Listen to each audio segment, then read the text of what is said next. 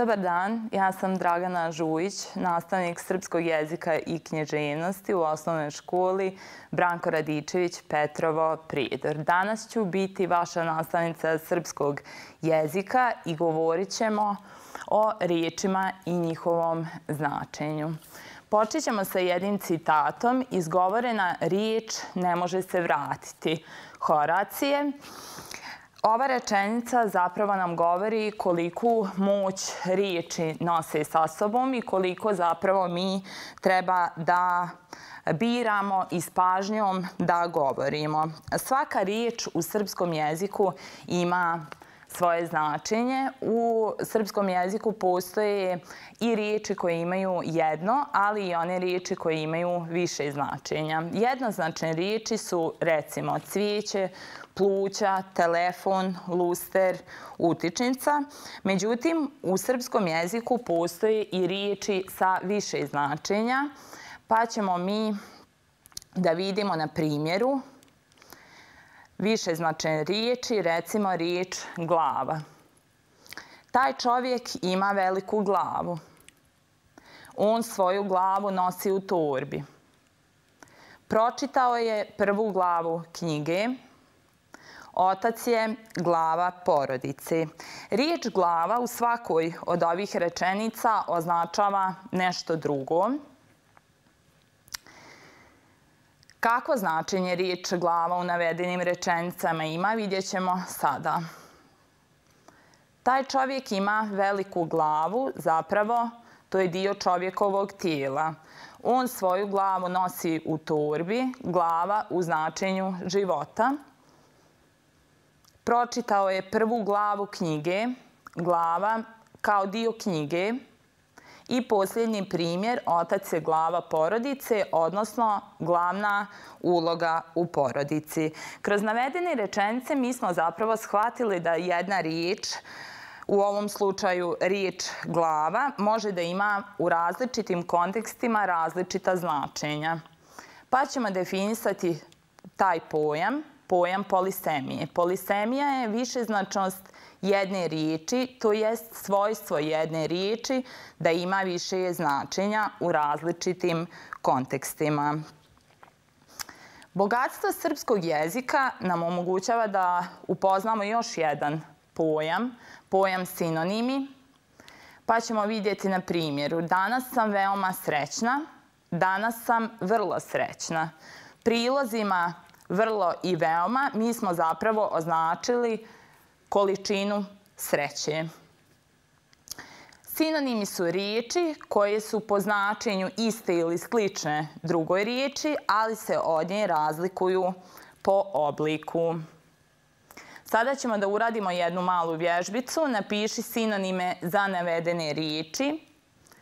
Šija, penđer, avlija, muštuluk, patriotizam. Sinonim za riječ šija bio bi vrat. Za penđer prozor, avlija bi svakako bilo dvorište, muštuluk nagrada i patriotizam rodoljublje. Za domaću zadaću uradit ćete dva zadatka. Prvi je šta je polisemija, definisat ćete pojam polisemije prikaže ovu pojavu u srpskom jeziku koristeći riječ srce. I drugi zadatak, napiši sinonime za sljedeće riječi. To su riječi brz, bebeo, hladna, učenik, veseo i kuća. Dragi učenici, hvala vam na pažnje.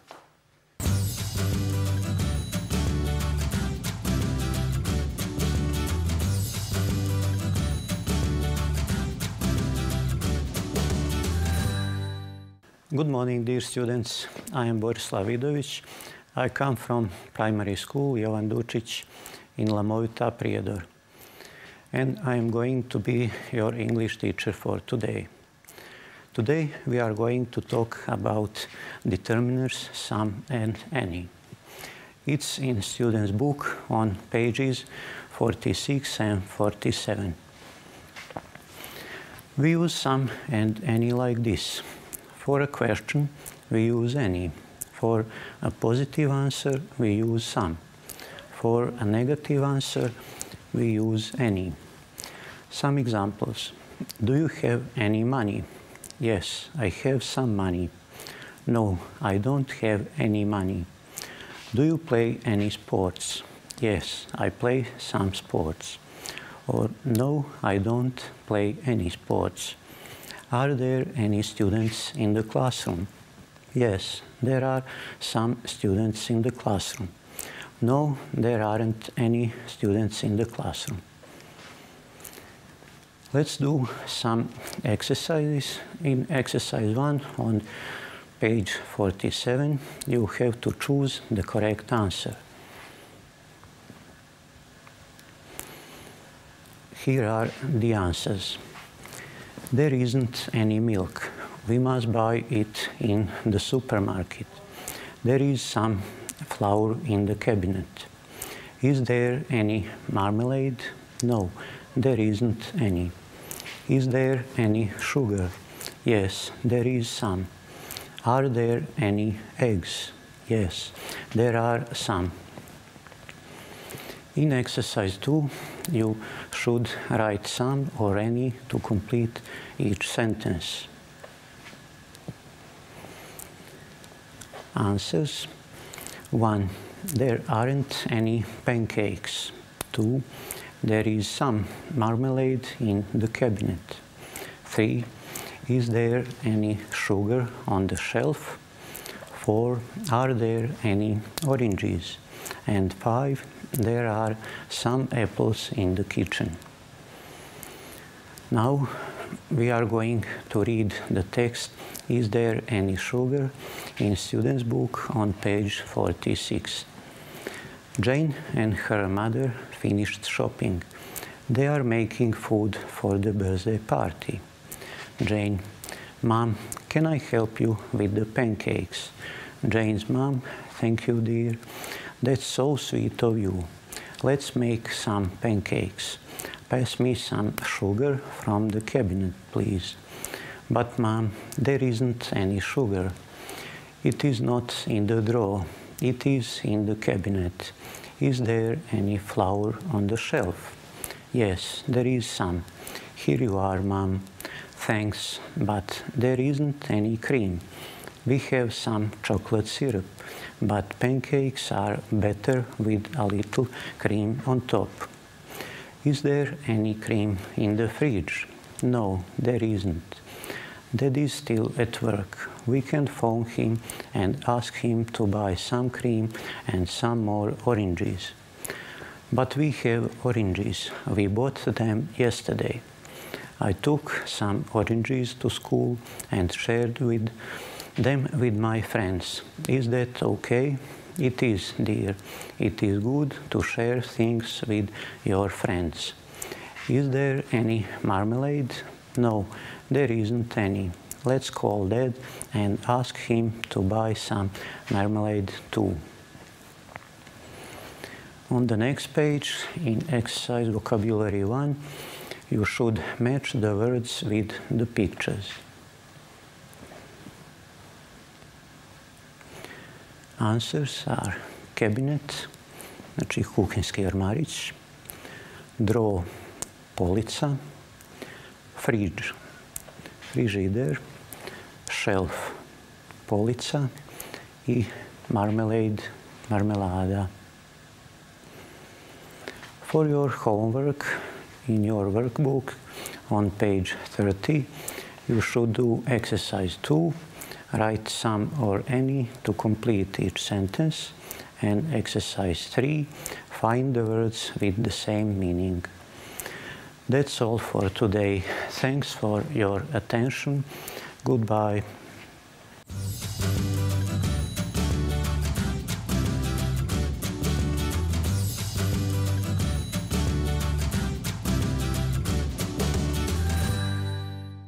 Dobar dan, dragi moji učenici širom Republike Srpske.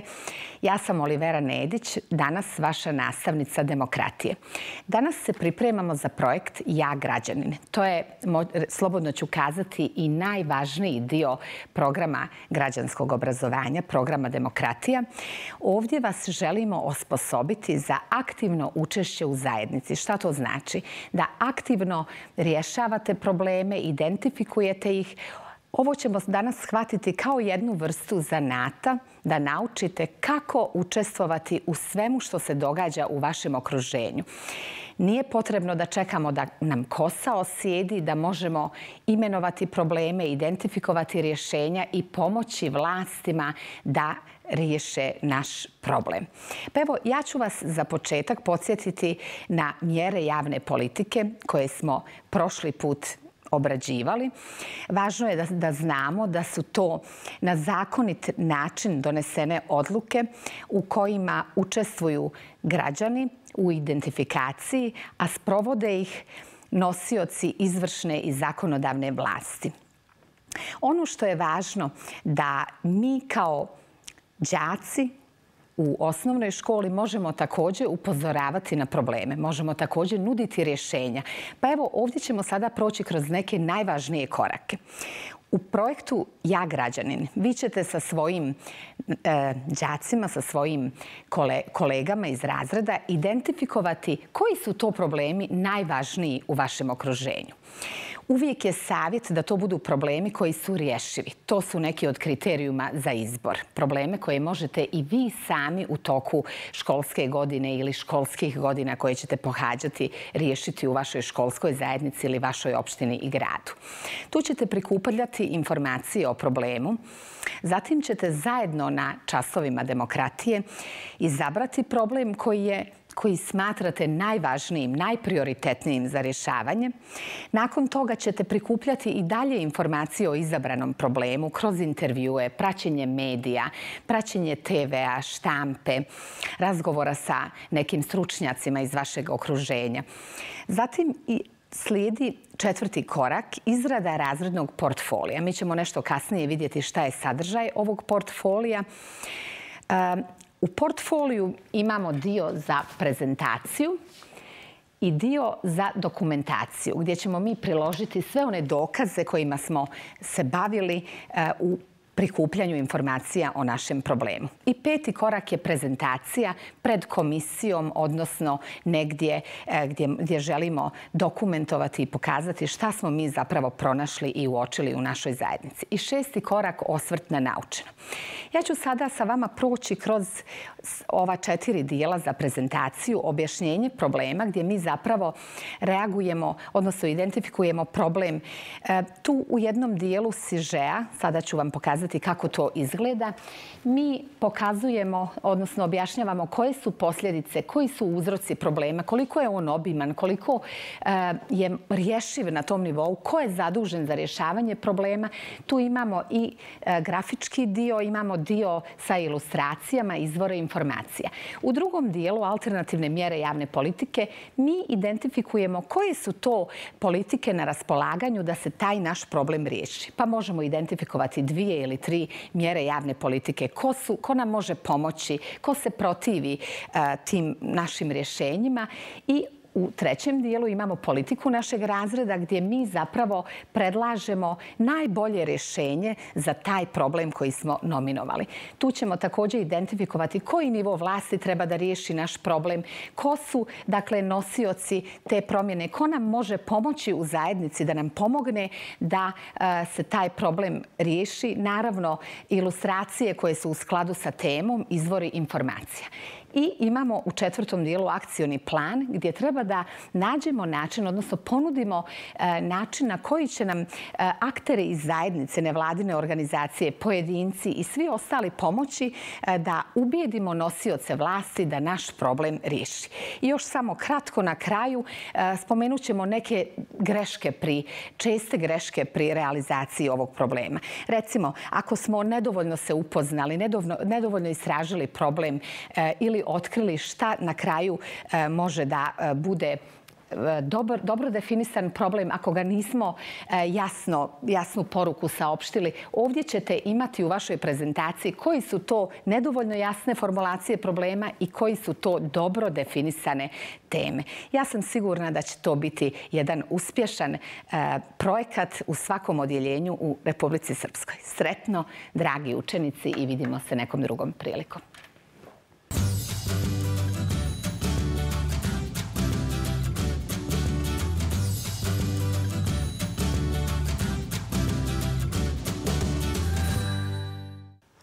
Dobar dan, drugari. Ja sam nastavnica Žana Lajić, dolazim iz osnovne škole Jovan Dučić Lamovita.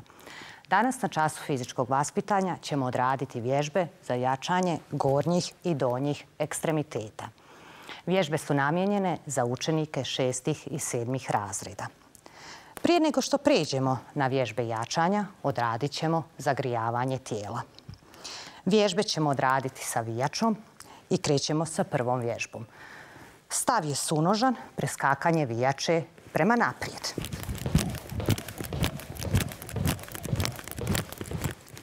Zatim, drugari, odradite drugu vježbu. Preskakanje vijače u mjestu, odnosno trčanje u mjestu. Možemo odraditi i preskakanje vijače s noge na nogu. To bi bilo to za zagrijavanje. Vježbe odradite 30 do 60 sekundi u dvije do tri serije. Prelazimo sada na vježbe jačanja. Prva vježba. Raskoračni stav, ruke u uzručenju i radimo otklon trupa u desnu i lijevu stranu. Vodite računa o disanju. Udah na nos, izdah na usta. Vježbu ponoviti 10 do 12 puta. Idemo sa drugom vježbom. Raskoračni stav, ruke u predručenju. Idemo zask trupa u desnu i lijevu stranu. Ruke su opružene, vijača zategnuta i vježbu ponavljamo 10 do 12 puta. Prelazimo na treću vježbu. Ja ću se drugari okrenuti bočno da me bolje vidite. Ruke u predručenju, raskoračni stav i radimo naše poznate čučnjeve. Prilikom izvedbe čučnja vodite računa da leđa ostaju ravna, nadkoljenica i podkoljenica čine ugao od 90 stepeni, a koljena ne prelaze zamišljenu liniju nožnih prstiju. Prelazimo na sljedeću vježbu. Radimo iskorak sa desnom nogom, ruke u uzručenju, pretkom trupa, vijačom dodirujemo skočni sklop i vraćamo se u početni položaj. Zatim to isto radimo sa drugom nogom. I tako drugari, vježbu ponovite 10 do 12 puta. Malo odmorite, olabavite ruke i noge, pa prelazimo na sljedeću vježbu. To bi bio sunožan stav, ruke u uzručenju i radimo pretklon trupa, vijača dodiruje skočni slop i radimo 10 do 12 puta ponavljanja. Kod ove vježbe vrlo nam je bitno da noge ostaju zategnute, ne savijate ih u koljenima. I prelazimo na još jednu vježbu. To bi bio raskoračni stav, ruke u predručenju. Lakat desne ruke ide ka koljenu lijeve noge i obrnuto. Malo brže, vi naravno dinamičnije odrađujete vježbe i u skladu sa svojim fizičkim mogućnostima i sposobnostima. Drugari, to, to bi bilo to što se tiče vježbi jačanja. Poslije vježbi jačanja obavezno odradite vježbe istezanja koje radite na redovnim časovima fizičkog vaspitanja sa svojim nastavnicima. To bi bilo to za danas na času fizičkog vaspitanja. Vidimo se neke druge prilike. Pozdrav!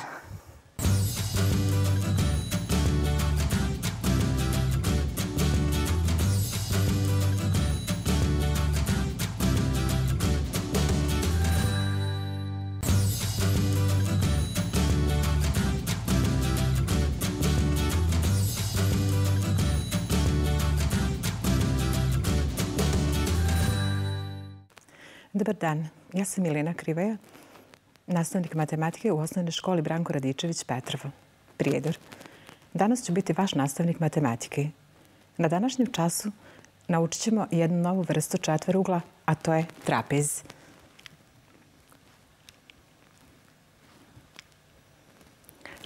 u početku ćemo definisati trapez. Četvrugao čije su dvije naspravne stranice paralelne naziva se trapez.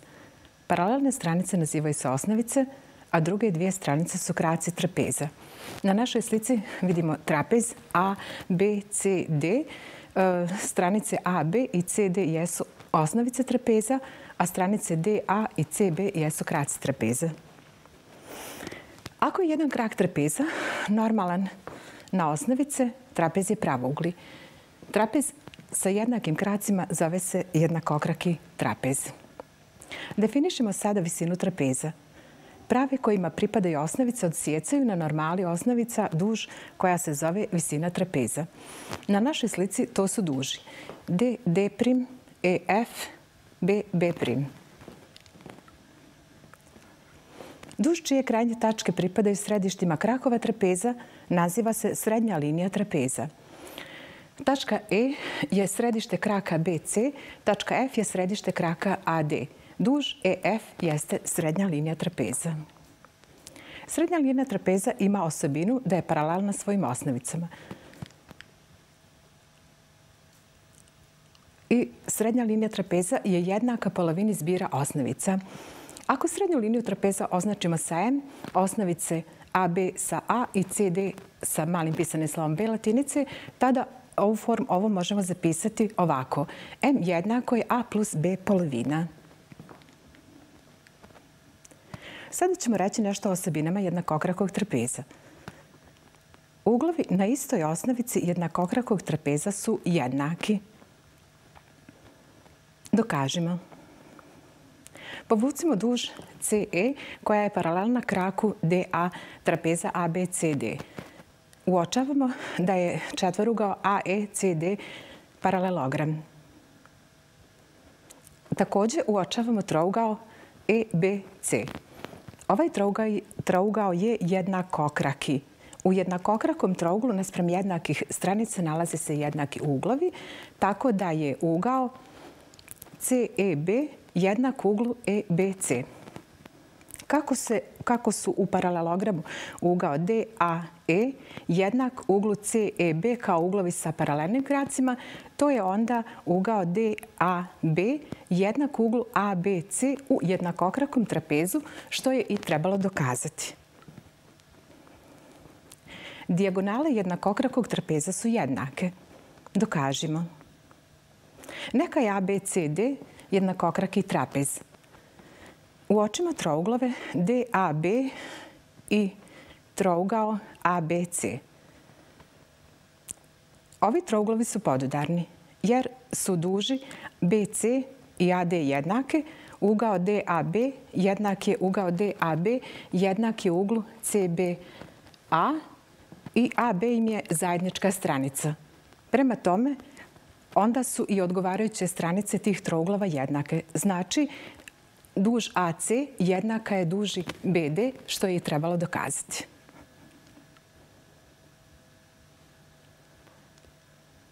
Sada ćemo raditi dva primjera. Prvi primjer kaže izračunaj dužinu srednje linije trapeza ako su njegove osnovice 13,8 cm i 12,5 cm. Rješenje. Upišimo podatke. A jednako je 13,8 desetih dijelova centimetra, B jednako je 12,5 desetih dijelova centimetra. Tražimo srednju liniju trapeza. Napisat ćemo obrazac. M jednako je A plus B polovina. Uvrstimo podatke. M jednako je 13,8 plus 12,5 kroz 2. Sabiranjem ovih vrijednosti dobijamo da je M jednako 26,3 kroz 2 i konačno dijeljenjem dobijamo vrijednost srednja linija trapeza koja u ovom našem slučaju iznosi 13,5 cm. Primjer 2. U pravoglom trapezu ugao na osnovici je 70 stepeni. Koliki su ostali uglovi ovog trapeza? Ako nacrtamo sliku pravouglog trapeza, uočavamo da osim što nam je zadan ugao od 70 stepeni na osnovici, ovdje po definiciji pravouglog trapeza imamo da su uglovi e, sa tjemenom u tački D i sa tjemenom tačke A pravougli, prema tome i oni su nam poznati. Za izračunavanje ugla kod tjemena C koristimo formulu za izračunavanje zbira unutrašnjih uglova četvorugla koja kaže alfa plus beta plus gamma plus delta jednako je 360 stepeni. Uvrstimo podatke. Alfa je 90 stepeni plus beta 70 stepeni plus gamma ne znamo i plus 90 stepeni, to je ugao delta. I to je jednako 360 stepeni. Sabiranjem ovih vrijednosti dobijamo 250 stepeni plus gamma jednako je 360 stepeni. Gama jednako je 360 stepeni minus 250 stepeni i konačno gama je jednako 110 stepeni. Ostali uglovi trapeza su dakle 90 stepeni, 90 stepeni i 110 stepeni. Za domaći rad imate u učbeniku na strani 176. zadatak 3, u zbirci zadataka strana 76, zadatak 694, strana 77, zadatak 705, strana 78, zadatak 706. Hvala na pažnji. Doviđenja.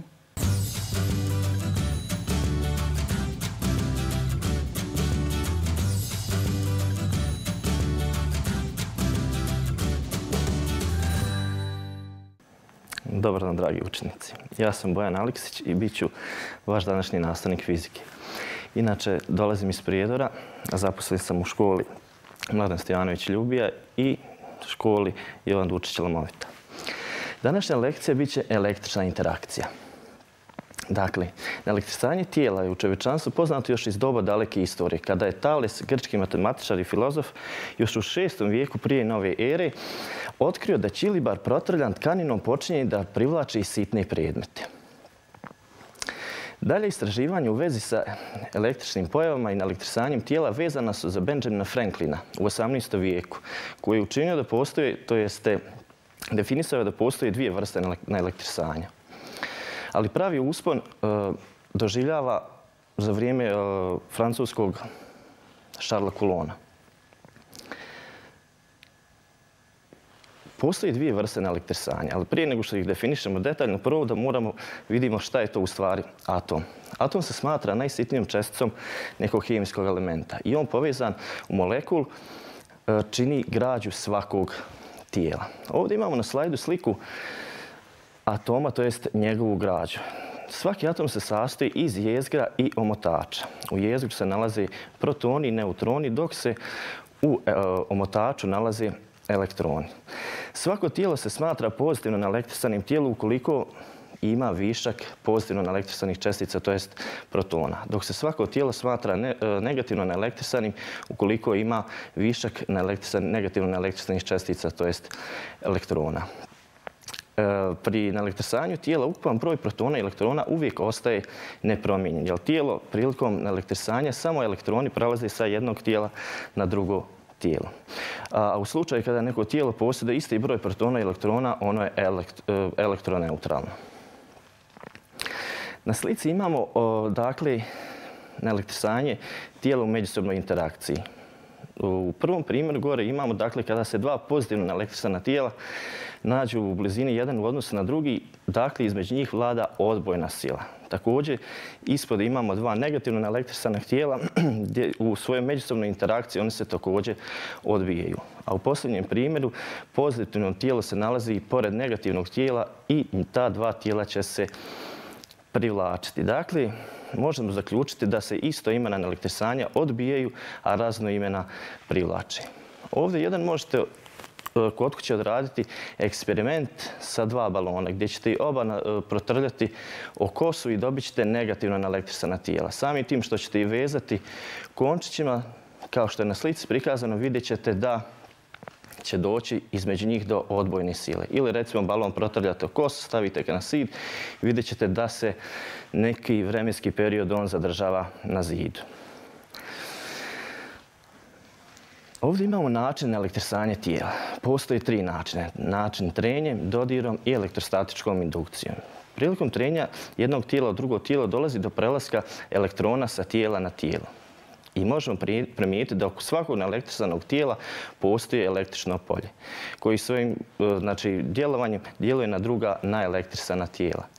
To možete primijeniti kod kuće na jednom malom eksperimentu pomoću češlja koji ćete pretrljati par puta kroz kosu i prinijeti već pripremljenim papirićima koji se nalazi na stolu. Vidjet ćete kako češalj počinje da ih privlači i djeluje električnim poljem na njih same. Prilikom neelektrisanja tijela dodirom sa negativno elektrisanog tijela dolazi do prelaska elektrona sa neutralnog tijela ili prelaska elektrona sa neutralnog tijela na, na, ukoliko je ono bilo pozitivno. Dok prilikom elektrisanja tijela elektrostatičkom indukcijom negativno elektrisano tijelo postavlja se u blizinu neutralnog tijela i izaziva mu preraspodjelu elektrisanja. Tako da na strani tijela koje je bliže negativno elektrisanom tijelu nakupljaju se protoni dok elektroni trpe odbojnu silu od negativno elektrisanog tijela i udaljavaju se na drugu stranu. Ovdje imate primjer koji možete dakle da pogledate na slici broj 2. Ali šta je specifično kod ovog vrste elektrisanja da tijelo i dalje elektroneutralno. Ovdje mi imamo dva instrumenta pomoću kojih možemo da mjerimo količinu elektrisanja tijela. Prvi je elektroskop bez skale koji će samo detektovati prisustvo na elektrisanje tijela, dok drugi instrument se naziva elektrometar i on ima skalu pomoću koje možemo da očitamo tačnu vrijednost neelektrisanog tijela. I na kraju domaća zadaća. Prvo pitanje, nabrojite vrste elektrisanja koje postoje u prirodi. Dakle, vidjeli smo postoje dvije. Na koji način možemo naelektrisati tijelo je pitanje broj dva. Imamo tri načina. I treće pitanje kako se naelektrisana tijela sa slike. Dakle, trebamo da stavimo na ove loptice odgovarajući znak.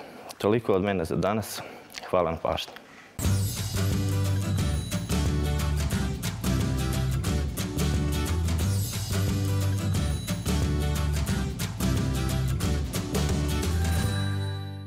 Good morning, dear students. How are you?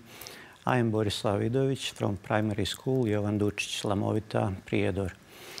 Today I am going to be your English teacher. Today we are going to talk about irregular comparison of adjectives, how much or many, more the most, and eating habits.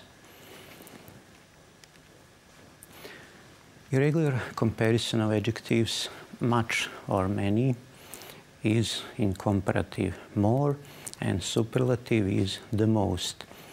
We use many with plural countable nouns.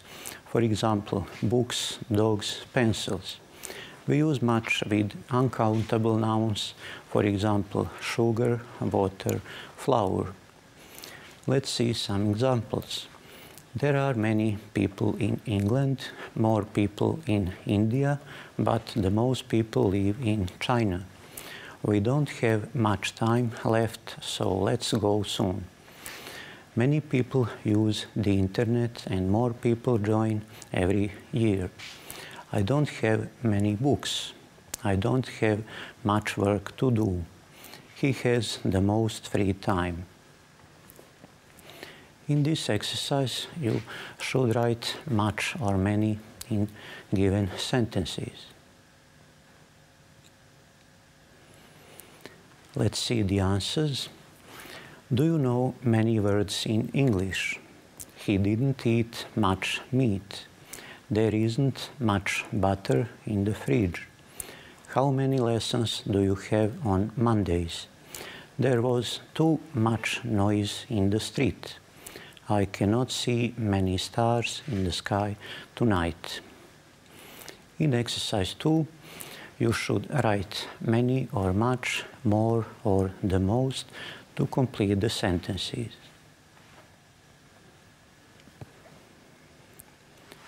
Here are the answers. There aren't many cooks in this hotel. Who has more DVDs, Mike or Steve? There are more TV channels now than last year. Of all the subjects, children have the most fun in PE classes. Our club has the most members of all the sports club in the school. Sorry, I don't have much time now. I'll call you later. In student's book on page 44, we have the lesson Eating Habits. Let's see eating habits of Kevin, Janice, and Mark. Kevin buys hamburgers or cheeseburgers. He doesn't have much time during recesses. His parents work all day long. They don't have enough time to cook. He eats fast food. Janice, her father has time to cook healthy food. She eats healthy homemade food. Mark, his mom works and doesn't have enough time for cooking. He eats salad and fat-free food. He usually eats ready-made food. Let's see some tips about healthy eating habits. Eat a variety of healthy food. Enjoy plenty of fruits and vegetables. Eat moderate portions. Maintain a healthy weight. Reduce, don't eliminate certain foods. Here are some good and bad eating habits. Which of these are your eating habits, on the left or on the right? For your homework, read the text Eating Habits on page 44 in student's book and in workbook on page 31 do exercise 3 put the words in brackets into the correct form. Thanks for your attention. It is all for today. Goodbye.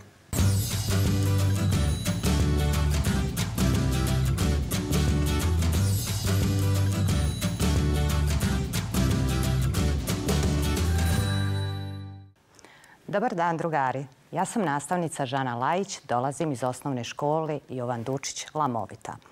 Danas na času fizičkog vaspitanja ćemo odraditi vježbe za jačanje gornjih i donjih ekstremiteta.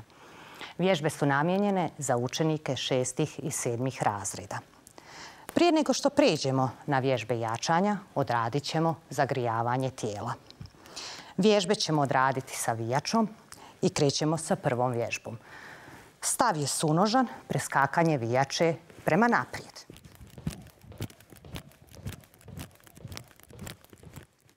Zatim, drugari, odradite drugu vježbu.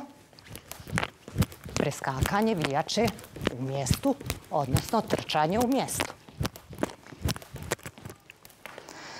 Možemo odraditi i preskakanje vijače s noge na nogu. To bi bilo to za zagrijavanje. Vježbe odradite 30 do 60 sekundi u dvije do tri serije. Prelazimo sada na vježbe jačanja. Prva vježba. Raskoračni stav, ruke u uzručenju i radimo otklon trupa u desnu i lijevu stranu.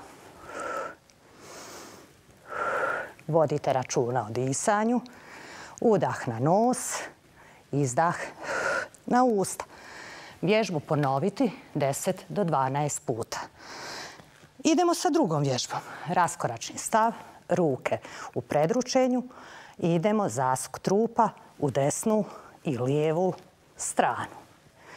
Ruke su opružene, vijača zategnuta i vježbu ponavljamo 10 do 12 puta.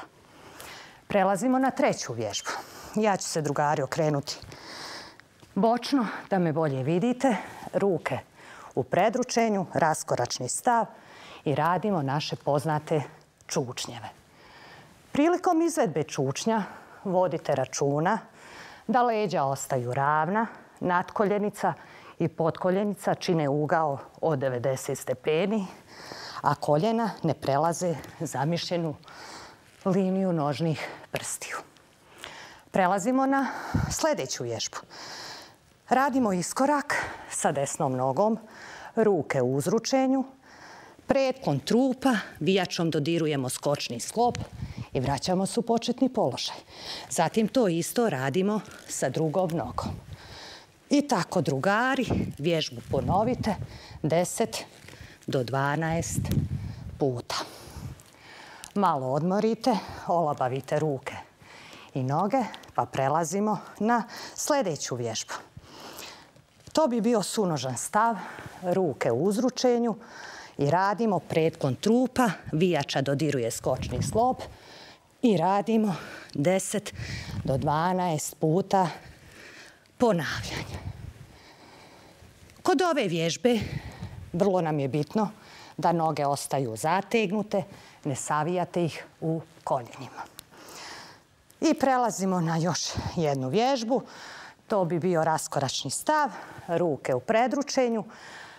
Lakat desne ruke ide ka koljenu lijeve noge i obrnuto. Malo brže, vi naravno dinamičnije odrađujete vježbe i u skladu sa svojim fizičkim mogućnostima i sposobnostima. Drugari, to, to bi bilo to što se tiče vježbi jačanja. Poslije vježbi jačanja obavezno odradite vježbe istezanja koje radite na redovnim časovima fizičkog vaspitanja sa svojim nastavnicima. To bi bilo to za danas na času fizičkog vaspitanja. Vidimo se neke druge prilike. Pozdrav!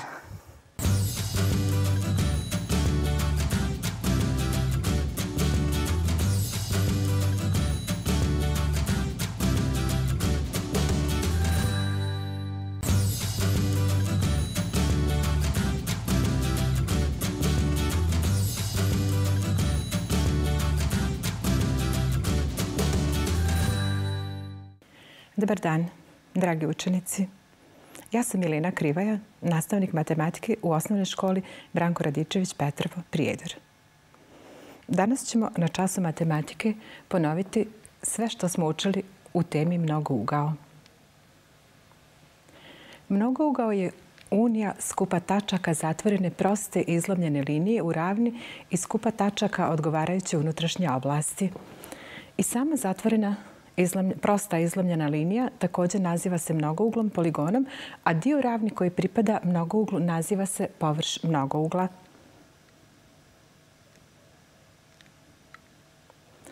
Zbir svih unutrašnjih uglova mnogougla sa n stranica jednak je.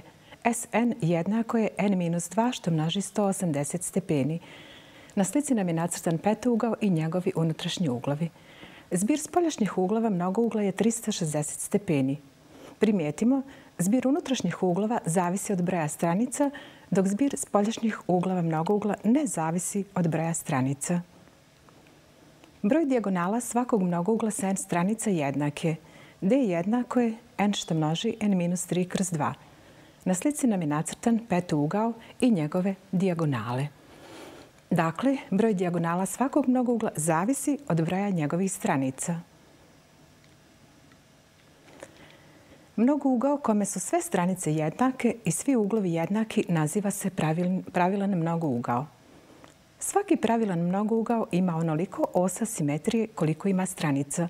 Na našoj slici nacrtan je pravilan ugao. Simetrale svih stranica pravilnog mnogougla sjeku se u jednoj tački. To je centar kruga opisanog oko tog mnogougla. Opisani i upisani krug pravilnog mnogougla imaju isti centar. Ta tačka se naziva centar pravilnog mnogougla. Na slici je prikazan pravilan šestougao, njegova opisana, upisana kružnica i njihovi poluprečnici. Ugao čije je tjeme u centru pravilnog mnogougla a kraci mu prolaze kroz dva susjedna tjemena mnogougla je centralni ugao mnogougla. Centralni ugao pravilnog ugla iznosi 360 stepeni podijeljen sa brojem stranica. Na našoj slici je pravilan mnogougao i njegov, pravilan šest ugao i njegov centralni ugao. Ako obi mnogougla označimo sa O, a dužine stranica redom A, B, tri tačke M, tada je obim mnogougla. O jednako je A plus B plus C plus i tako dalje do plus N. Pogledajmo šest, petu ugao. Njegov obim možemo izračunati na taj način što ćemo na jednoj pravoj nanijeti redom dužine njegovih stranica. A1, A2, A2, A3, A3, A4, A4, A5, A4, A5, A5, A1. Zatim ćemo izmjeriti dužinu svih duži zajedno. Ako je riječ o pravilnom mnogouglu, tada je postupak jednostavniji. Dovoljno je da se zna dužina jedne stranice i taj mjerni broj te jedne strane, dužine jedne stranice, pomnoži se sa brojem stranica i na taj način dobijamo obim pravilnog mnogougla. Formula glasi O jednako je n puta a. Površinu mnogougla izračunavamo njegovim razlaganjem na trouglove ili na takve geometrijske figure čiju površinu znamo da izračunamo. Zatim izračunamo površine tih dijelova pa dobijene mjerne brojeve sabiramo. Dakle, P jednako je P1 plus P2 plus P3 plus 3 tačke plus Pn. Na slici nam je petougao razložen na tri trougla. Površina pravilnog n ugla jednaka je polovini proizvoda njegovog obima i apoteme. Pišemo P jednako je O puta H kroz 2. Površinu pravilnog mnogougla izračunavamo i pomoću proizvoda obima i poluprečnika opisanog kruga. Dakle, P jednako je O puta R polovina. Na slici nam je predstavljen pravilan sedmougao, izdjeljen znači na te karakteristične trouglove. Razložena slika izgleda ovako. Sada ćemo raditi dva primjera, dva zadatka. Prvi zadatak kaže Broj dijagonala mnogougla je osam puta veći od broja stranica. Koliki je zbir unutrašnjih uglova? Zapisat ćemo. E, prema prvoj e, rečenici, to jest uslovu zadatka, koji kaže broj dijagonala mnogougla je osam puta veći od broja stranica, što zapisujemo? D jednako je 8n. Dakle, ovo važi konkretno za ovaj zadatak. Uvrštavamo umjesto D n jednako je n što množi n minus 3 polovina, da je jednako 8n. Dalje ćemo pisati ovako. n što množi n minus 3 jednako je 2 puta 8n. Dakle, imamo n što množi n minus 3 jednako je 16n. Ako se i na lijevoj i na desnoj strani jednačine nalazi isti činilac, to znači da nam činilac koji se nalazi, drugi činilac na lijevoj strani i drugi činilac na desnoj strani treba da budu jednaki. Što zapisujemo? n minus 3 jednako je 16. Dakle, n jednako je 16 plus 3, pa je n jednako 19. Mnogo ugao o kojem je riječ u ovom zadatku jeste 19. ugao. Sada ćemo izračunati zbir unutrašnjih uglova tog mnogougla. Pišemo opštu formulu za izračunavanje zbira unutrašnjih uglova mnogougla, a ona je Sn jednako je n, n minus 2 što množi 180 stepeni. Zbir unutrašnjih uglova 19 ugla jednako je 19 minus 2 što množi 180 stepeni. Dakle, S 19 ugla jednako je 17 puta 180 stepeni i konačno dobijemo da je zbir unutrašnjih uglova 19 ugla 3060 stepeni. Drugi zadatak. Pravilan šestougao i jednakostraničan trougao imaju jednake obime koji su po 18 cm. U kojoj, su razmjeri površine šestougla i trougla? Pišemo. O1 jednako je O2 jednako je 18 stepeni, gdje smo sa O1 označili obim pravilnog šestougla, a sa O2 smo označili obim jednakostraničnog trougla. Obim pravilnog šestougla izračunavamo, izračunavamo po formuli O1 jednako je 6 puta A1 i daljim uvrštavanjem dobijamo da je dužina stranice pravilnog šestougla 3 cm. Izračunat ćemo stranicu jednakostraničnog trougla. O2 jednako je 3 puta A2. Izračunavanjem dobijamo da je stranica jednakostraničnog trougla A2 jednako 6 cm. Sada možemo izračunati ono što se u zadatku traži, a to je razmjera površina šestugla i trougla. Pišemo. Razmjeru zapisujemo kao količnik veličina. Količnik, dakle, površine šestugla i površine trougla. Zapisat ćemo odgovarajuće formule za izračunavanje površine šestugla i površine jednakostraničnog trougla. Sređivanjem ove formule dobijamo jednostavniji oblik 6a1 na kvadrat korijena iz 3 kroz a2 na kvadrat korijena iz 3. Što jednostavnije možemo upisati e, da je to jednako 6a1 na kvadrat kroz a2 na kvadrat. E, sada ćemo tek uvrstiti podatke, što znači 6 puta 3, gdje je 3 stranica pravilnog šestugla, a Ovdje pišemo samo dužinu stranice jednakostraničnog trougla, to je broj 6. Radi jednostavnijeg izračunavanja upisat ćemo, izračunat ćemo kvadrat broja 3 i pišemo 6 puta 9 9 jer je 9 e, kvadrat broja 3, a broj 6 ćemo napisati kao 6 puta 6 da bismo lakše skratili 6 i 6, tako da nam ostaje jednostavni izraz 9 šestina koji ovdje kraćenjem sa 3 dobijamo da je konačno razmjera 3 prema 2. Zapisujemo P1 kroz P2 jednako je 3 prema 2. Dakle, površine e, pravilnog šestugla i jednakostraničnog trougla u ovom našem zadatku imaju razmjeru 3 prema 2. Hvala na pažnji. Doviđenja.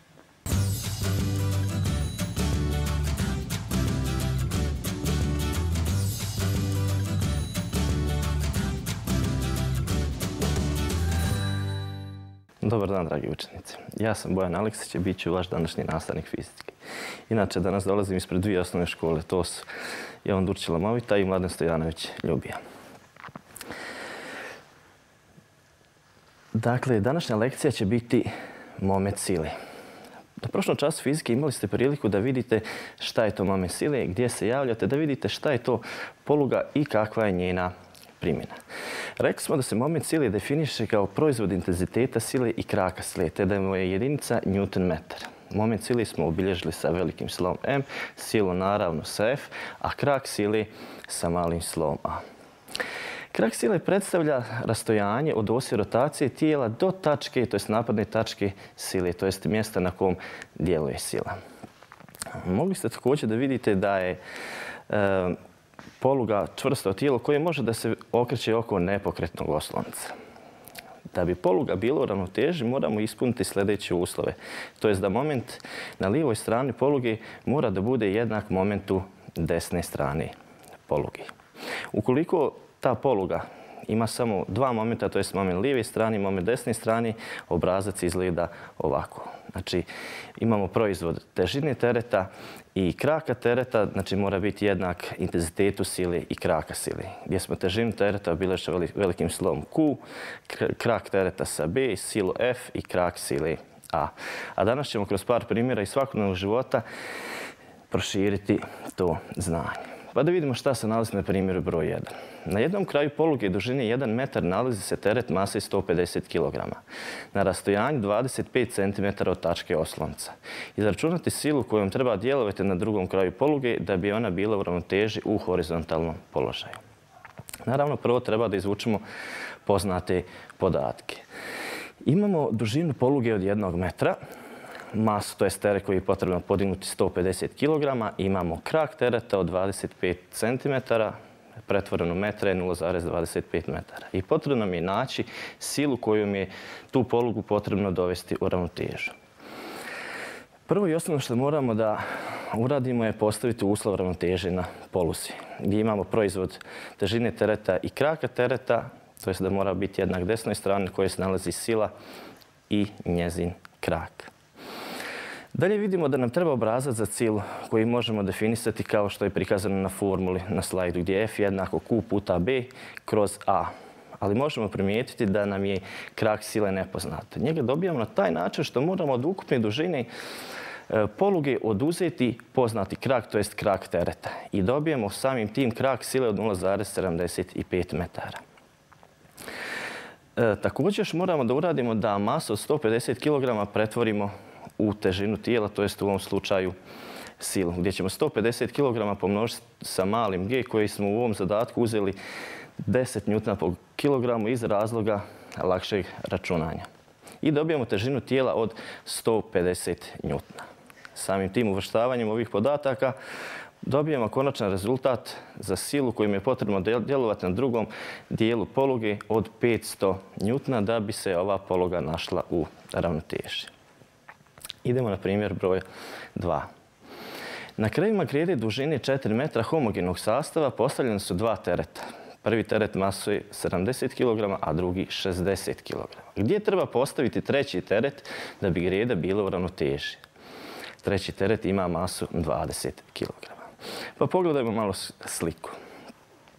Ovdje vidimo da lakši teret moramo da stavimo naravno na stranu tereta koji je od 60 kg da bi se ispunio uslov ravnoteži. Pa pogledajmo, ovdje imamo dva momenta s desne strane i jedan s lijeve. Pa postavljamo uslov da je suma momenta lijeve strane jednaka sumi momenta desne strane. Ovdje ćemo sve mase pretvoriti u njutne, naravno množeći sa malim g koje iznosi 10 njutna po kilogramu. Pa da postavimo uslov ravnoteže na gredi. S lijeve strane imamo jedan moment, to jest F1 puta A1 mora biti jednak sumen momenta desne strane gdje imamo F2 puta A2 plus F3 puta A3.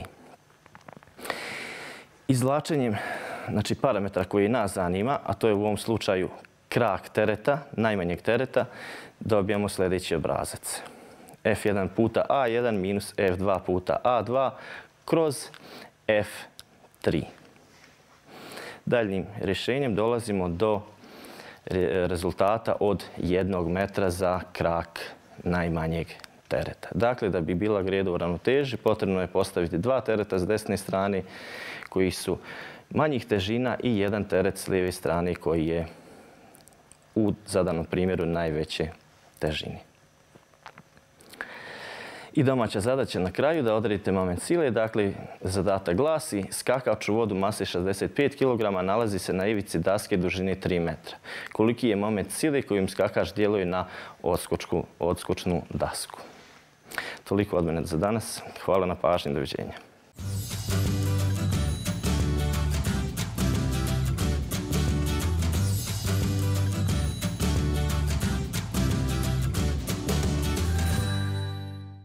Good afternoon, dear students. I am Boris Lavidovic from primary school Jovan Dučić Lamovita Prijedor, and I am going to be your English teacher for today. Today we are going to talk about birthday celebrations. Let's see how they celebrate birthday in different countries in history. King of Egypt, Pharaoh, he prepared the feast for his people 5,000 years ago. Some scientists say that it was the day of his birth as a god.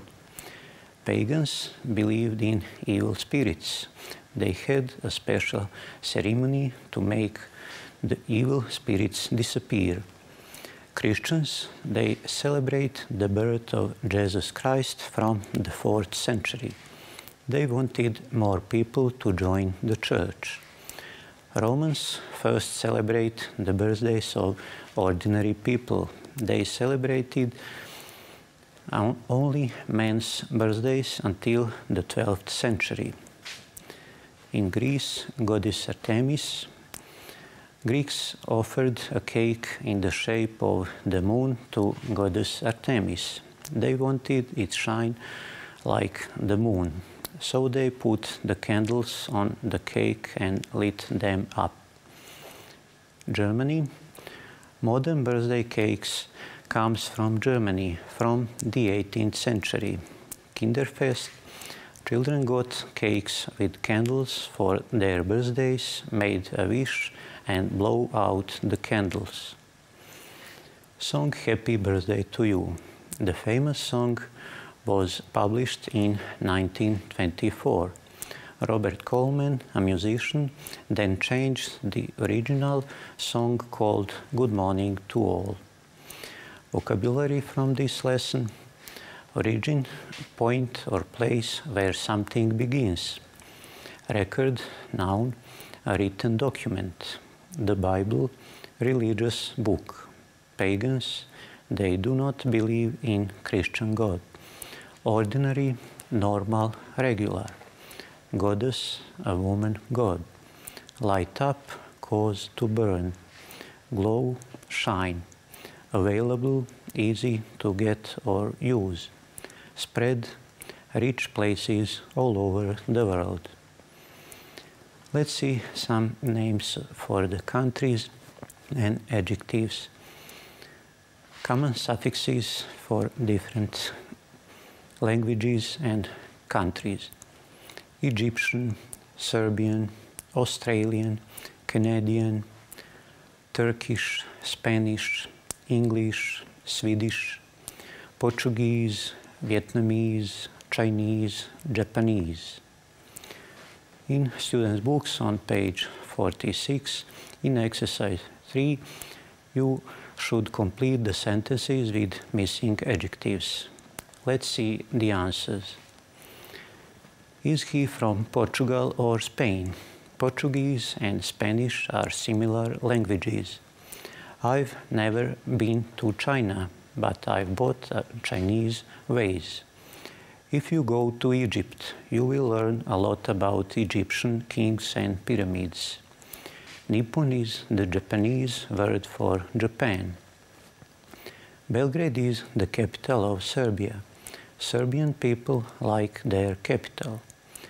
Tuan's grandfather is from Vietnam. Tuan is Vietnamese too. Mr. Davis hasn't visited Canada, but his best friend is Canadian. Is this the flag of Sweden? Not that one. This one is Swedish. People in Australia speak English, but the accent is Australian. Let's see some more examples. Montenegro, Montenegrin. Croatia, Croatian. Slovenia, Slovenian. Austria, Austrian. Russia, Russian. For your homework, you will read the text Let's Party in your student's book on page 45 and in workbook on page 36 do exercise 1 circle the correct answer. Thanks your, for your attention. It will be all for today. Goodbye.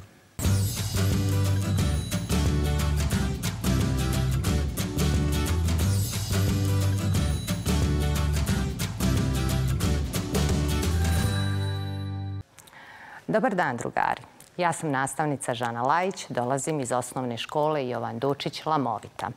Danas na času fizičkog vaspitanja ćemo odraditi vježbe za jačanje gornjih i donjih ekstremiteta. Vježbe su namjenjene učenicima za, za osmi i deveti razred.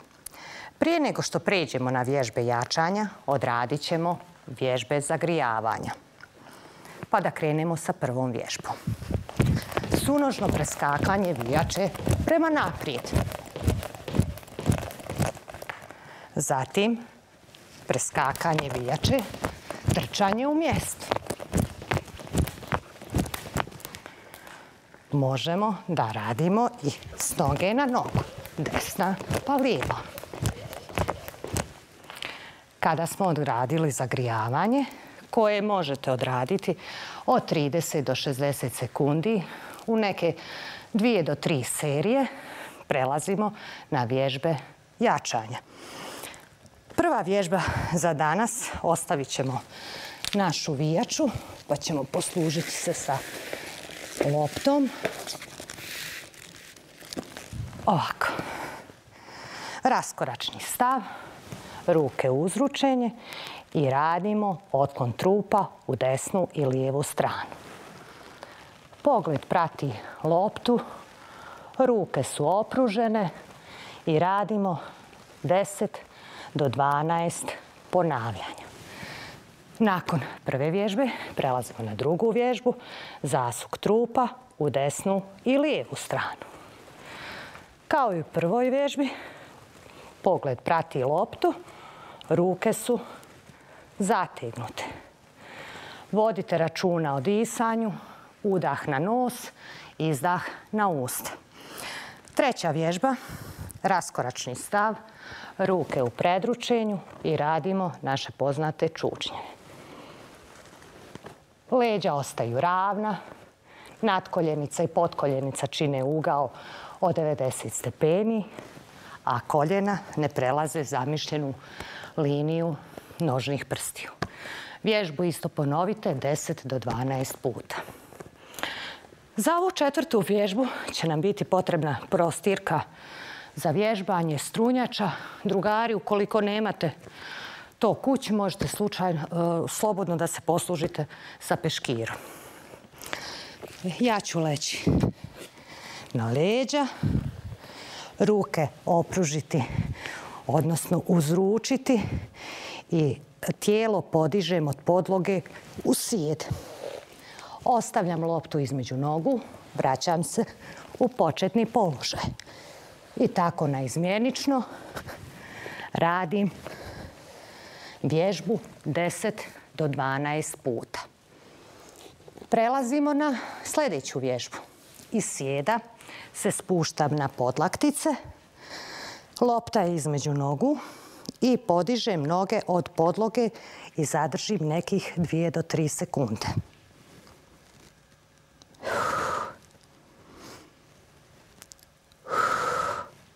Vodite računa, ponavljamo disanju. Vježbu odraditi 10 do 12 puta. Možemo sljedeću vježbu da radimo, isto iz sjeda. Radimo zasuk trupa u desnu i lijevu stranu. Kod ove vježbe potrudite se da bude što veća amplituda pokrita. Ruke su nam zategnute. Vježbu odrađujemo 10 do 12 puta. Zatim, drugari, možemo preći na sljedeću vježbu. Ja ću se okrenuti na stomak. Lopta je ispred mene. Ruke u uzručenju. I sada zajedno sa loptom ruke i trup podižem od podloge i zadržim nekih dvije do tri sekunde.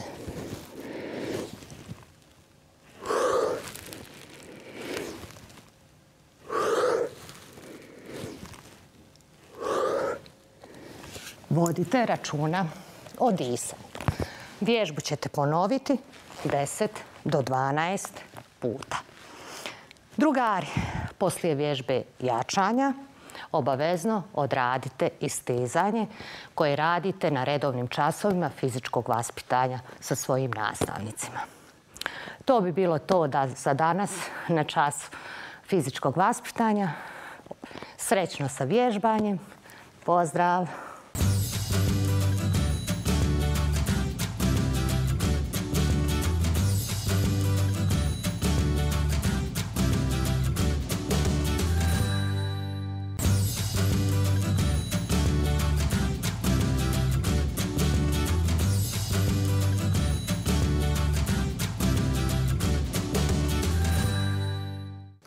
Dobar dan, dragi učenici devetog razreda. Ja sam Dragana Žujić, nastavnik srpskog jezika i knježevnosti. Danas ću vam predavati srpski jezik. Govorit ćemo o padežima.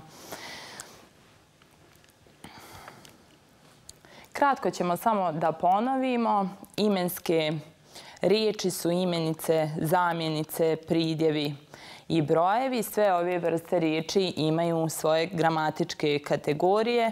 To svakako rod, broj i padež. Promjenjive riječi također imaju gramatičku osnovu, dio koji se ne mijenja, sada ćemo da vidimo, i gramatički nastavak. Vidimo da je ruk dio koji se ne mijenja, odnosno gramatička osnova imenice ruka i gramatički nastavak koji je u ovom slučaju a i u. Ruka, ruku. Dodavanjem različitih nastavaka na imeničku osnovu dobijamo različite oblike riječi, a ti različiti oblici riječi su padeži. Promjene imenica kroz padeže naziva se deklinacija. Srpski jezik, kao što svi znate, ima sedam padeža i dobija se svaki padež na posebno pitanje. Padeži u srpskom jeziku su nominativ, genitiv, dativ, akuzativ, vokativ, instrumental i lokativ.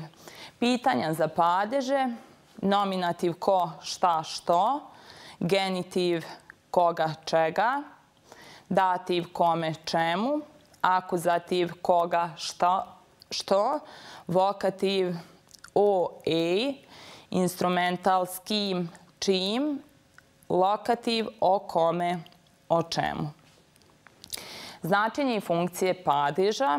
Padeži su oblici imenskih riči kojima se označavaju različiti odnosi u rečenici i s obzirom na to da li padežni oblik zavisi ili ne zavisi od neke druge riječi u rečenici, sve padeže dijelimo na nezavisne padeže i zavisne padeže.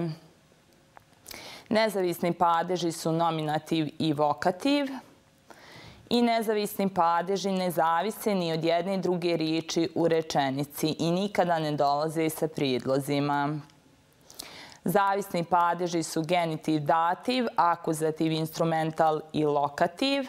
Zavisni padeži nazivaju se tako zato što zavise od neke druge riječi u rečenici koju određuju ili dopunjavaju, čineći s njom sintagmu. Mogu se upotrebljavati s prijedlozima ili bez njih, osim lokativa koji uvijek ide s prijedlogom. Šta predstavlja značenje padeža?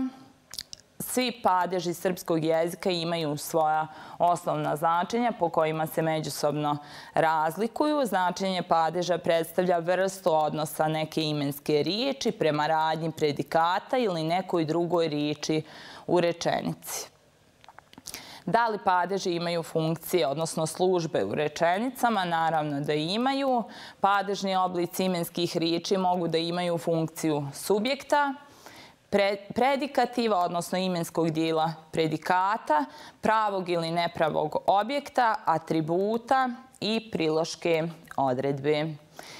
Sada ćemo da vidimo i na primjerima kako to izgleda. Subjekta Teodora spava, predikativa ona je lijepa, objekta čovjek mazi mačku, atributa Ana shvata Sašinu tugu, priloške odredbe bili smo u banjoj luci.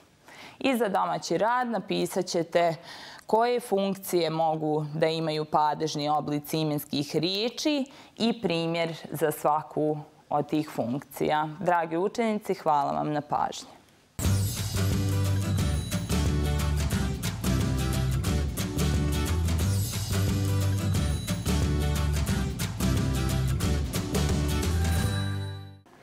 Pozdrav, dragi učenici. Ja sam Bojan Aleksić, vaš nastavnik fiziki. Dolazim iz Prijedora, ispred osnovne škole Mladen Stojanović Ljubija i Jovan Dučić Lamovita. Današnja lekcija je provodik u magnetnom polju i primjena elektromagneta. Na prošlom času fizike imali ste priliku vidjeti kako nastaje magnetno polje oko provodnika kroz koji protiče električna struja. Danas ćemo vidjeti kako taj provodnik se ponaša u polju stalnog magneta. Da bi to uspješno savladali, bilo bi dobro da vidite sliku detaljno. Dakle, na slici imamo jedan stalni magnet u obliku potkovice. Imamo jedan pravolinijski provodnik koji se nalazi u polju stalnog magneta koji visi o stalku i na koji je priključen dakle, određeni izvor električne struje, u ovom slučaju baterije. E, kada se pusti kroz provodnik električna struja, ovdje će doći do potiskanja pravolinijskog provodnika iz polja stalnog magneta, to jest provodnik će početi da se pomjera. Ovu pojavu možemo definisati pravilom lijeve ruke koje kaže ako šaku lijeve ruke postavimo tako da je dlan okrenut, dakle prema sjevernom polu magneta, a isprženi prsti da nam pokazuju smjer kretanja električne struje, provodnik će težiti da napusti polje e, stalnog magneta, to jest faktički će iz njega biti izbačen. E, do kretanja provodnika dolazi zbog, sučeljavanja dva magnetna polja, to jest polja stalnog magneta i polja koji stvara električna struja oko pravolinijskog provodnika. Mijenjanjem smjera električne struje ili mijenjanjem smjera magnetnog polja mijenja se i smjer kretanja pravolinijskog provodnika. Ovdje gore imate sliku, potkovičasti magnet, kako upravo dolazi do potiskivanja tog magneta iz stalnog polja. Na slici možemo primijetiti da polje stalnog magneta istiskuje električni provodnik jer jedino on može da se pomjera. Dakle, strujni provodnik djeluje magnetna sila koja izaziva mehaničko kretanje. Ovdje vidimo linija sila magnetnog polja kako izgledaju i vidimo linije sila pravolinijskog provodnika koje nastaju usred proticanja električne struje. Mjerenje su pokazalo da intenzitet sile F među djelovanjem ova dva magneta polja zavisi od indukcije magnetnog polja stalnog magneta B, jačine električne struje, koja protiče kroz provodnik I i dužine dijela strujnog provodnika koji se nalazi u magnetnom polju stalnog magneta L. Ovo ispisano formulu izgleda na sljedeći način. Dakle, amperova sila je jednaka proizvodu magnetne indukcije, jačine električne struje i dužine pravolinijskog provodnika koji se nalazi u polju stalnog magneta. Na ovim slikama je prikazan pa, to jest u obliku rama stalnom magnetnom polju. Kada se provodnik e, savije četvrta stram i kroz njega pusti električna struja, ram će težiti da se obrne. Magnetna sila vrši rad nad provodnikom sa strujom obrćući ga, a provodnik taj rad može da prenese na okolna tijela. Te na ovom principu se bazira rad elektromotora. Dakle, ovdje vidimo sliku u gornjem lijevom uglu. Puštena je električna struja kroz pravolinijski provod, to jest u provodnik u obliku rama. E, isprženi prsti pokazuju smjer struje, a palac će pokazivati smjer zakretanja rama. To isto imate samo s druge strane kada električna struja dolazi iz suprotnog smjera. Također, nešto smo spomenuli i spominjali elektromagnet, to jest mogli ste da vidite šta je to elektromagnet prošlog časa fizike. Dakle, kalem kroz koji protiče električna struja ponaša se kao magnet. Te on elektromagnet zadržava svojstvo magneta samo dok kroz njega protiče električna struja. I samim prestankom, znači proticanje električne struje kroz magnet, e, prestaju i njegova magnetna svojstva. E, svojstva elektromagneta možemo povećati na tri načina. A to je povećanje broja namataja kalema, povećanjem jačine električne struje i uvlačenjem jezgra u kalem. Ovdje imamo neku primjenu dakle, elektromagneta. Danas veoma često srećemo relej, ali u svakom od njih dakle, nalazi se po jedan mali elektromagnet koji možete da vidite na ovim ovdje kalemima, to jest namotajima. Također ima veliku primjenu u električnom kućnom zvonu. Imate šemu na slici desna. Također, ko je imao priliku da posjeti neke velike auto otpade, mogao da vidi dizelicu sa ovim velikim zvonom, koji je u stvari jedan veliki elektromagnet, gdje ovaj dakle, elektromagnet može da podiže jako, jako velike terete. Veliku primjenu našaju u medicini kao dakle, ova magnetna rezonanca. Imamo primjenu magneta, znači elektromagneta u magnetofonu i mjernim instrumentima. Dakle, imamo ovdje jedan magnetofon gdje se elektromagnet faktički predstavlja glavu za brisanje, glavu za snimanje i glavu za reprodukciju. A također veliku primjenu ima i u električnim mjernim uređajima. I na kraju domaća zadaća. Imamo tri pitanja. Dakle, prvo pitanje od kojih parametara zavisi amperova sila i na koji način. Imamo ih tri. Kako glasi pravilo lijeve ruke, također smo spomenuli. I treće pitanje, kako možemo povećati djelovanje elektromagneta. Također imamo tri načina za povećanje njegovog djelovanja. Toliko od mene za danas. Hvala na pažnji i doviđenja.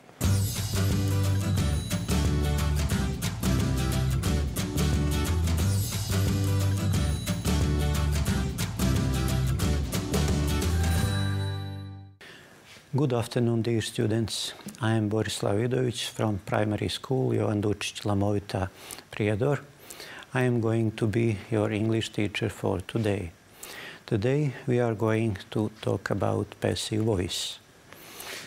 present simple and past simple passive. It's on your student's book on page 44 in exercise 1. We have to change active voice sentence into passive voice. In active voice sentence, people take superstitions for granted. When we, when we change it into passive voice, it will be superstitions are taken for granted. Let's see some examples and change active voice to passive voice. They teach English in many schools. English is taught in many schools. They clean the house once a week. The house is cleaned once a week. People don't wear sandals in winter. Sandals are not worn in winter. They finish work at 5 p.m. Work is finished at 5 p.m. They make these jackets in China. These jackets are made in China. Let's see some more examples. John buys milk every day. Milk is bought every day by John. Thousands of people visit the website. The website is visited by thousands of people. They make paper from trees. Paper is made from trees. Authors write books. Books are written by authors. They print books on paper. Books are printed on paper. They speak Portuguese in Brazil. Portuguese is spoken in Brazil. People often see birds in the forest. Birds are often seen in the forest. The secretary answers the phone calls. The phone calls are answered by the secretary. Past simple passive is in exercise 2. Look at the example of active voice sentence. They asked spirits for help. When we change it into passive voice, spirits were asked for help. And other sentences we have to change from active to passive voice. They took us to Disneyland. We were taken to Disneyland. People did not use cars in the 18th century. Cars were not used in the 18th century. They painted the wall two days ago. The wall was painted two days ago. They built the house last year. The house was built last year. They washed our clothes very quickly. Our clothes were washed very quickly. And some more examples. My sister made a cake yesterday. A cake was made yesterday by my sister. The man bought a new car last week. A new car was bought last week. Henry Ford invented Model T car. Model T car was invented by Henry Ford. Alfred Nobel discovered dynamite. Dynamite was discovered by Alfred Nobel. For your homework in workbooks on pages 36 and 37, you have to do exercises 4, put the verbs in brackets in the correct form using present simple passive, and exercise 5, put the sentences into the passive voice. That's all for today. Goodbye.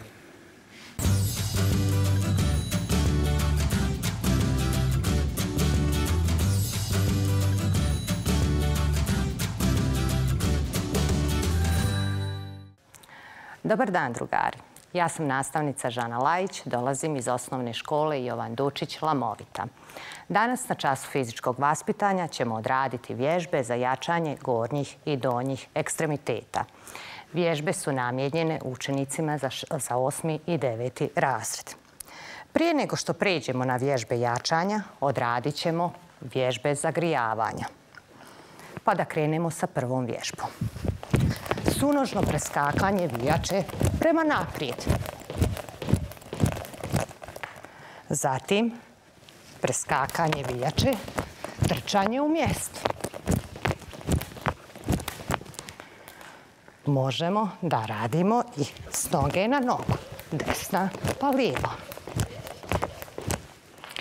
Kada smo odradili zagrijavanje, koje možete odraditi od 30 do 60 sekundi u neke dvije do tri serije, prelazimo na vježbe jačanja.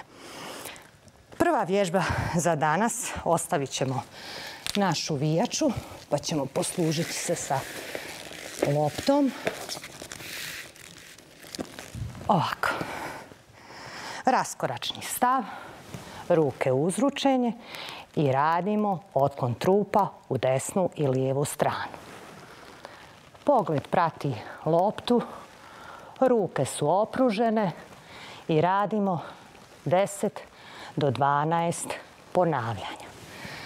Nakon prve vježbe prelazimo na drugu vježbu, zasuk trupa u desnu i lijevu stranu. Kao i u prvoj vježbi, pogled prati loptu, ruke su zategnute. Vodite računa o disanju, udah na nos, izdah na usta. Treća vježba, raskoračni stav, ruke u predručenju i radimo naše poznate čučnje. Leđa ostaju ravna, nadkoljenica i potkoljenica čine ugao od 90 stepeni, a koljena ne prelaze zamišljenu liniju nožnih prstiju. Vježbu isto ponovite 10 do 12 puta. Za ovu četvrtu vježbu će nam biti potrebna prostirka za vježbanje strunjača. Drugari, ukoliko nemate to kući, možete slučajno, e, slobodno da se poslužite sa peškirom. Ja ću leći na leđa, ruke opružiti, odnosno uzručiti i tijelo podižem od podloge u sjed. Ostavljam loptu između nogu, vraćam se u početni položaj. I tako naizmjenično radim vježbu 10 do 12 puta. Prelazimo na sljedeću vježbu. Iz sjeda se spuštam na podlaktice, lopta je između nogu i podižem noge od podloge i zadržim nekih 2 do 3 sekunde.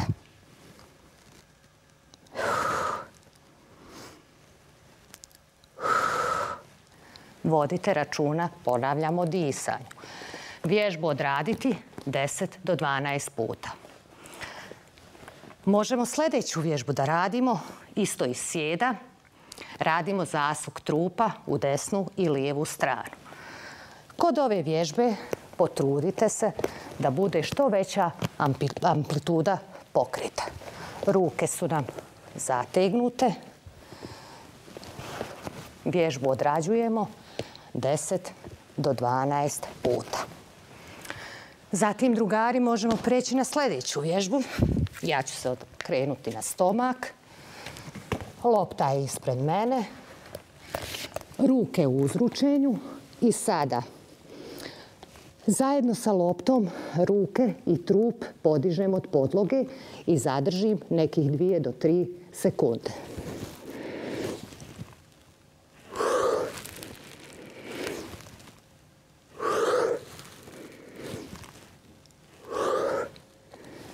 vodite računa o disanju. Vježbu ćete ponoviti 10 do 12 puta. Drugari, poslije vježbe jačanja obavezno odradite istezanje koje radite na redovnim časovima fizičkog vaspitanja sa svojim nastavnicima. To bi bilo to da za danas na čas fizičkog vaspitanja. Srećno sa vježbanjem. Pozdrav!